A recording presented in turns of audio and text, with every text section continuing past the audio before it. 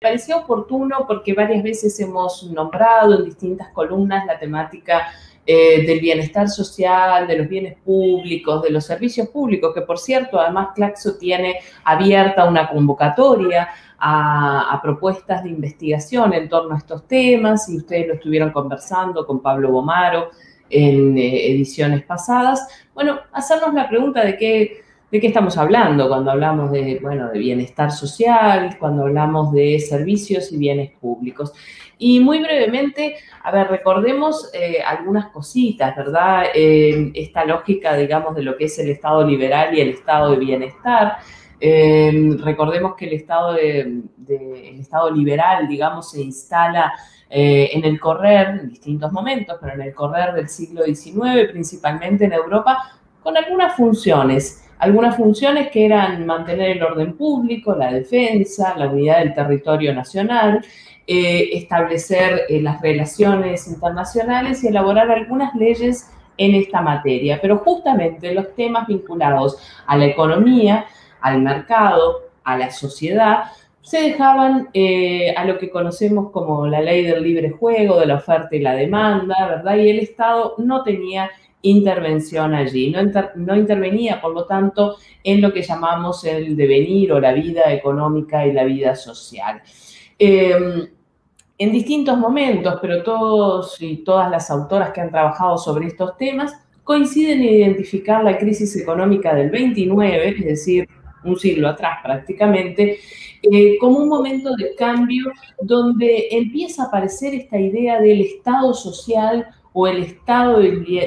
bienestar o estado de bienestar con el objetivo principalmente de, bueno, de abordar un tema que siempre trabajamos aquí en, las columnas de Infoclaxo, que son las desigualdades sociales y poder darle eh, a los ciudadanos, a las ciudadanas, eh, un nivel y una calidad de vida eh, dignas, determinadas, ¿verdad? Y que este estado social de bienestar ha tenido distintas denominaciones, sí se propone intervenir, por tanto, en los campos de la economía y de la sociedad. En la economía, básicamente, regulando algunos aspectos eh, vinculados a las relaciones laborales, a los salarios, etcétera, y en la sociedad, eh, bueno, garantizando algunos servicios algunos servicios públicos, algunos elementos que se consideran bienes comunes, bienes públicos, como son eh, la salud, la educación, la seguridad social, etcétera, etcétera. Ustedes dirán, ¿por qué traigo este tema ahora? ¿Por qué nos remontamos además al origen de, esta noción de estado de bienestar? Bueno, porque como dijimos es un tema central en el análisis de las desigualdades y particularmente de esas desigualdades que se han amplificado durante el 2020 y lo que va del 2021 en América Latina. Y porque queremos recuperar eh, este tema de los servicios públicos que permitan algo tan sencillo como lo que decíamos recién, servicios de salud, de educación, de jubilaciones, es decir, salones con profesores, con profesores, profesoras, con docentes en general, centros de salud con personal médico y con posibilidad de acceso por parte de la población a esos centros de salud, pensiones básicas eh, a lo largo eh, de la vida, pero sobre todo en el momento del retiro o del fin de la vida laboral, eh, igualdad en el acceso a la educación, a los servicios de salud, al agua, a los servicios que se consideran básicos eh, para la vida de todos y de todas. Y además eh, asegurarlo sin discriminaciones de ningún tipo, es decir, ni por razones de género, de etnia, raza, discapacidad o alguna otra dimensión eh, que ustedes quieran incorporar. Este tipo, además de servicios públicos y de prestaciones sociales, creemos firmemente que también se convierten en motores eh, de la igualdad y que permiten eh, contribuir a cambiar, a transformar la vida de las personas, además de ser obviamente una herramienta que permite también la cohesión social o la vida en sociedad, reduciendo las brechas eh, de desigualdad y particularmente las brechas que eh, observamos de manera tan alarmante en nuestra región entre los más ricos y los más pobres y entre los varones y las mujeres. Y si combinamos esas dos dimensiones, ya te imaginas cuál es el resultado. Entonces, estos servicios públicos efectivamente tienen posibilidad de incidir en las condiciones de vida, en definitiva, eh, también eh, de dar mayor libertad a las personas, eh, libertad, por ejemplo, de saber que si me enfermo tendré donde atenderme, de que tendré posibilidad de acceder a la educación y recordemos que la educación es también uno de los mecanismos que nos permite insertarnos de manera activa luego en la sociedad, en fin, distintas libertades Em, que, no, que no quedan en el plano individual, sino que se garantizan eh, colectivamente. Em, además, van a obviamente generar eh, mayores eh, seguridades y beneficios para las personas de menores recursos y para aquellas personas que se ven afectadas por alguna de las dimensiones de la desigualdad que ya he mencionado. Entonces, necesitamos que estos servicios sean lo que dice su nombre, públicos, verdaderamente públicos y de alcance eh, universal. Y eh, discutir eh, o plantear estos temas que están sobre la mesa hoy en muchos de nuestros países vinculados a la prestación privada de los servicios públicos o a las privatizaciones de esos servicios que se consideran básicos y públicos. Eh, de forma tal de que no solamente los servicios se provean, sino que se garantice eh, el acceso a los mismos y además que esos servicios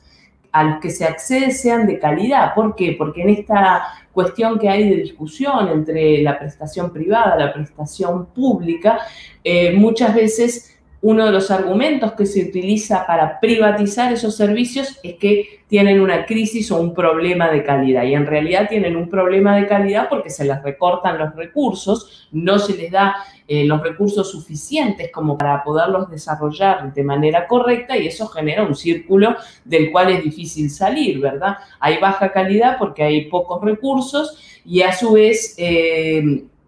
se afirma que esos recursos, como son malos, deben ser brindados de otra manera, deben ser privatizados, etc. Esa es una discusión que está a la orden del día hoy en nuestros países. Y eso eh, nos lleva de la mano también a discutir, bueno, muy bien,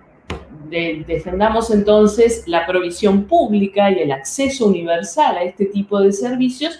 cómo lo financiamos, ¿verdad? Cómo se plantea el financiamiento de estos servicios y ahí aparece otra de las discusiones que hoy está a la orden del día eh, en esta temática en América Latina, que tiene que ver con las reformas tributarias y con las reformas eh, fiscales. Eh, porque, bueno, tenemos que hablar de, de, estos temas, de cómo contribuimos cada uno de nosotros, cada una de nosotras, este, para poder lograr estas prestaciones públicas. Y hoy, en el marco de la pandemia, quedó muy clara la necesidad de esos servicios, la necesidad de que esos servicios sean de calidad y sean universales y incluso instituciones que uno nunca pensaría que eh, llegaran a decir esto, como el, el FMI, están planteando que es necesario plantear algún tipo de reforma también tributaria, de reformas fiscales que redistribuyan eh, los recursos a nivel social, se favorezca el crecimiento, en fin, como que este tema es necesario volver a colocarlo sobre la mesa, especialmente en el área hoy eh, tan discutida de la salud y de la educación, ¿verdad? Que sabemos además que son condiciones importantes para poder eh, avanzar en otras dimensiones de la igualdad. Por ejemplo, recordemos el impacto que tiene en el caso de las mujeres la educación, luego en términos de su inserción en el mercado de trabajo y de los salarios que pueden eh, obtener producto de esa inserción, por poner un solo ejemplo. Eh, es por eso que hoy eh, traigo este tema y bueno, y quizás en las próximas columnas sigamos profundizando sobre alguno de estos aspectos, especialmente los vinculados a la cuestión tributaria y fiscal eh, que estamos discutiendo en los distintos países de América Latina y el Caribe. Karina pensaba en dos cosas. La primera, el impuesto a las grandes fortunas, este, eh, que, bueno, claramente fue una de las grandes discusiones, no solamente en la Argentina, sino en muchos países del mundo, eh, inclusive con sectores impensados que pusieron en juego la necesidad de hacer reformas tributarias. Y lo segundo, ¿no? Escuchaba en las últimas horas algunas declaraciones de eh, algunos representantes de los sistemas de salud privados eh, que decían, bueno, pero la gente elige ir al sistema de salud privado, casi como si fuese una elección de libertad absoluta, sin marcar que antes se financió un Estado para desarmar los sistemas de salud públicos y de ahí una cantidad de gente opta, si es que tiene la posibilidad de pagar uno privado, ¿no? Pero qué difícil que a veces en lo discursivo poner en juego estas cosas, pero la pandemia parece haber revelado más claro que nunca todo esto, ¿no? Absolutamente, por eso colocaba esa tensión entre hablar de la calidad de los servicios públicos especialmente, y eh, la temática de la prestación privada o la privatización en parte de esos eh, servicios públicos. Eh, claro, no podemos pedir servicios de calidad si no les damos los recursos para que esos servicios sean de calidad y después nos amparamos en que no son de calidad para decir que hay que privatizarlos. Ese es un aspecto. Y el otro aspecto es que en ese tema de la libertad de elección, entre comillas, bueno, convengamos que las libertades eh, son discutibles también, porque quizás algunas personas tienen efectivamente eh, la libertad de elegir en función de los ingresos que tienen o la supuesta libertad de elegir en función de los ingresos que tienen, pero buena parte de la población y cada vez más eh, cantidad de población en América Latina y el Caribe, esa libertad ni siquiera está en cuestión, ¿verdad? Porque directamente no es posible, no es posible tener un gasto de bolsillo tan alto, así se lo llama en, el ámbito eh, de la salud, ¿verdad? Para, tener el derecho de atender la salud. Y recordemos lo que pasó en esta pandemia con tantas personas que directamente no pudieron acceder al sistema de salud eh, por falta de recursos económicos es un problema que se agravó en la pandemia, pero que ya preexistía cuando miramos los datos eh, de la prestación de salud en nuestros países.